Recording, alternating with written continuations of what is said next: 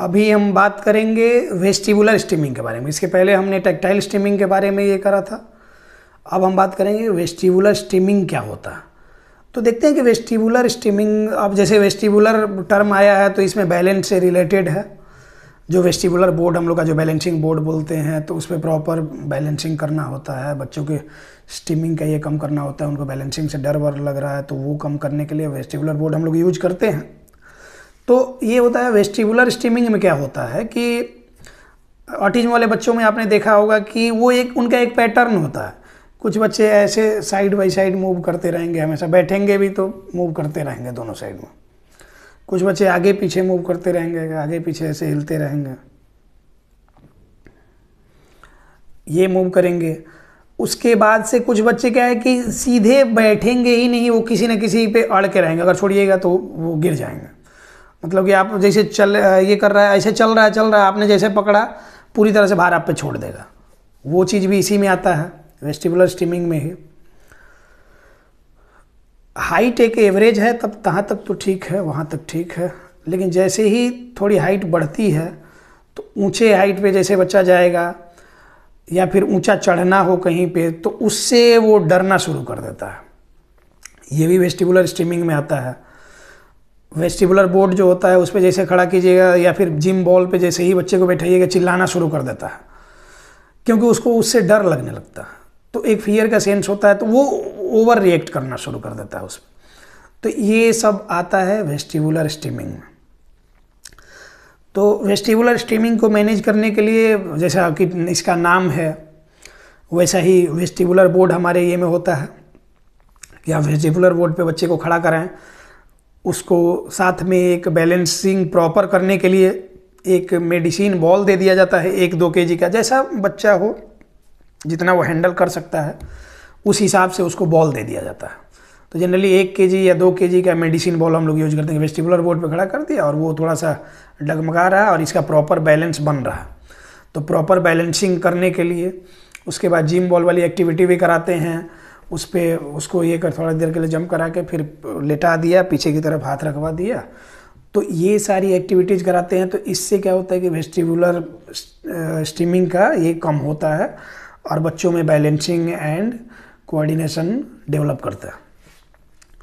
इसके अलावा अब जो बच्चे बार बार बॉडी शेकिंग कर रहे हैं, साइड साइड बाय साइड कर रहे हैं या फिर आगे पीछे कर रहे हैं उनमें भी ये इसकी प्रॉब्लम होती है तो उसको रोकना होता है, उसको बैठाना होता है। मैं बार बार बोलता हूँ कि कभी भी कोई भी एक्सरसाइज का पैटर्न आप शुरू जो करते हैं तो किसी भी एक्सरसाइज को या फिर किसी भी काम को शुरू करने का एक तरीका होता है। जैसे पूजा ही करते हैं तो एक आसन होता है कि हाँ इस आसन में बैठेंगे। पढ़ाई करने के लिए बैठते हैं तो उसका भी एक आसन है कि हाँ चेयर लेके और टेबल पे बैठेंगे। टेबल चेयर के साथ बैठेंगे तो उस पर स्ट्रेट बैठ के पढ़ेंगे, ज़्यादा देर तक पढ़ पाएँगे। बेड पे लेट के ज़्यादा देर तक नहीं पढ़ पाएँगे। तो किसी भी मूवमेंट को स्टार्ट करने के लिए एक स्टार्टिंग पोजीशन आइडियल पोजीशन होता है। तो ये जो एक्टिविटी भी आप कराते हैं बच्चों को तो इसमें एक आइडियल पोजीशन होना चाहिए कि उसमें बैठा के बच्चों को एक्टिविटी करें। या तो पालथी मार के, जो जिसको कि क्रॉस सिटिंग बोलते हैं, बहुत सारे लोग समझ नहीं पाते हैं कि क्या बोल रहे हैं ये। तो पालथी मारना, वो क्रॉस सिटिंग होता है। जैसे पूजा पे, आसन वगैरह पे हम लोग बैठते हैं चुक्कू मुक्कू बैठना जो कॉमन भाषा में बोलते हैं, उसको स्क्वैट सिटिंग बोलते हैं। स्क्वैट सिटिंग मतलब इंडियन टॉयलेट में जैसे हम लोग बैठते हैं स्क्वैटिंग में ही बैठते हैं। तो स्क्वैट सिटिंग में बैठाएँ बच्चों को। और थोड़ी देर तक उनको वैसे ही, भले कुछ दिन तक कोऑपरेट नहीं करें, उनको दर्द होगा। बच्चे जनरली भागना चाहते हैं, इधर से उधर, इधर से उधर भागते रहते हैं। तो शुरू में उन, वो वैसे बैठना चाहेंगे नहीं, लेकिन आपको फिर भी थोड़ा थोड़ा टाइम ड्यूरेशन पे उनको बैठाना होगा। फिर थोड़ा गैप दीजिए, फिर बैठाइए, फिर गैप दीजिए करके ऐसे जब बैठाएँगे, इसके साथ साथ अभी इस तरह के बच्चों के लिए, जैसे मैंने बैलेंसिंग कोऑर्डिनेशन की एक्सरसाइज बता दी, अब मान लीजिए कि हाइट से वो डर रहा है। तो हाइट से डर रहा है तो हो सकता है कि अब जैसे मान लीजिए कि ये टेबल है, ये तो बहुत बड़ा टेबल है, ये तो पाँच फीट का है। लेकिन जहाँ भी कम स्पेस वाला जगह होगा, उस पर आप स्टूल वगैरह पर खड़ा कर देंगे तो बच्चा डरेगा। उसको ट्रेन करने के लिए क्या कीजिए कि पहले वाइड सरफेस लीजिए, कोई भी चौड़ा ये हो, लंबा चौड़ा सरफेस हो, उस पर आप खड़ा करेंगे तो उसको दिखेगा कि अच्छा हम बीच में हैं सराउंडिंग में भी बहुत सारी ये ऑब्जेक्ट बहुत सारा स्पेस है, हम गिर नहीं पाएँगे। तो वो क्या करेगा कि उस पर वो ठीक रहेगा। लेकिन जैसे ही पतले ये पे खड़ा होगा तो चिल्लाना शुरू करता तो धीरे धीरे धीरे धीरे करते करते करते करते, वहाँ से उसको नीचे मैट वगैरह लगा के हम धीरे धीरे हम लोग जंप कराना शुरू करते हैं। उससे जंप कराने से क्या होगा कि धीरे धीरे धीरे धीरे बच्चे के फियर का सेंस कम हो जाएगा और जब फियर का सेंस कम हो जाएगा तो वेस्टिबुलर स्टिमिंग उसका कम हो जाएगा। बैलेंसिंग कोऑर्डिनेशन और हाइट वाइट से डरना जो उसका हो रहा था, वो सारा कुछ ख़त्म हो जाएगा और तब वो आराम से स्थिर बैठ के जो भी चीज़ें कर, जो बॉडी शेकिंग कर रहा था, जो बॉडी मूवमेंट कर रहा था अनयूजुअल मूवमेंट जो कर रहा था, वो सारी चीज़ें वो बंद कर देगा। अब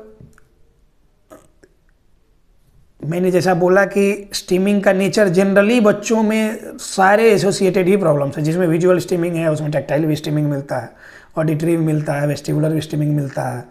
तो इन सारे बच्चों में वही सोल्यूशन जैसे, जो जो हम जैसे जैसे बता रहे हैं अलग अलग इसलिए बता रहे हैं ताकि आपको क्लियर रहे क्लियर बातें समझ में आए।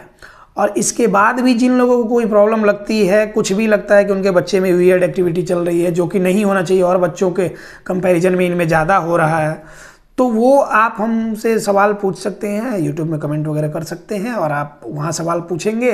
अभी हम, आपके सवाल, हमारे जवाब सीरीज़ पहले जो हमने शुरू किया था, उसमें चार पाँच वीडियो मैंने डाले थे। बीच में समय के अभाव में मैंने नहीं डाला है। तो अब जितने लोग अपना सवाल भेजेंगे, अगर जेनुइन सवाल उनका हुआ, क्योंकि रटा रटाया और रिपीट वही हमेशा जो सवाल जनरली लोग पूछते हैं कि मेरे बच्चे को ये है, मेरे बच्चों को वो है, उसके बाद आगे का कुछ है ही नहीं कि उसमें कुछ चाहिए है, नहीं चाहिए है क्या है, नहीं है, कुछ भी नहीं पूछते तो वो सवाल इग्नोर कर देते हैं जेनुइन सवाल आप पूछेंगे तो उसका जवाब हम आपको जेनुइन देंगे और उसके लिए वीडियो बनाएँगे, आपके सवाल हमारे जवाब सीरीज़ में उसको अपलोड करेंगे कि आपका जो कन्फ्यूज़न हो, दूर हो, और आप बिना मतलब का परेशान नहीं हो कि ऑटिज्म ठीक ही नहीं होता है, और इधर, उधर उधर उधर आर्टिकल इकट्ठा कर करके आप खुद ही में कन्फर्मेशन बायस्ड होते रहते हैं। तो ये सारी चीज़ें आप नहीं करें। तो बस वेस्टिबुलर स्ट्रीमिंग में इतनी ही चीज़ें आप करेंगे तो इतने ही से बच्चा सुधर जाएगा। उसके लिए फ़िज़िकल एक्टिविटी आप ये कर सकते हैं। फुटबॉल वगैरह जो होता है ग्राउंड में बच्चे को पाँच सात बच्चों को ले आइए।